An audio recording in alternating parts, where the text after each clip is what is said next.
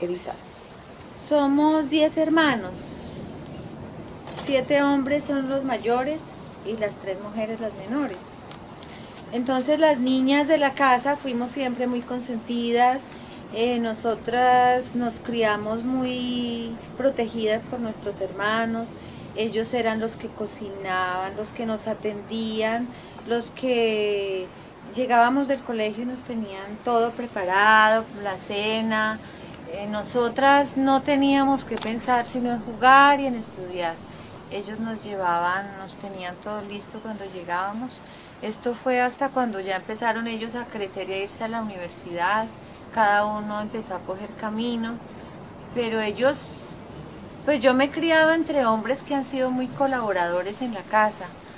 Eh, no estoy acostumbrada a ver hombres, hombres eh, que no atiendan a las mujeres, porque como mis hermanos todos nos atendían a nosotras.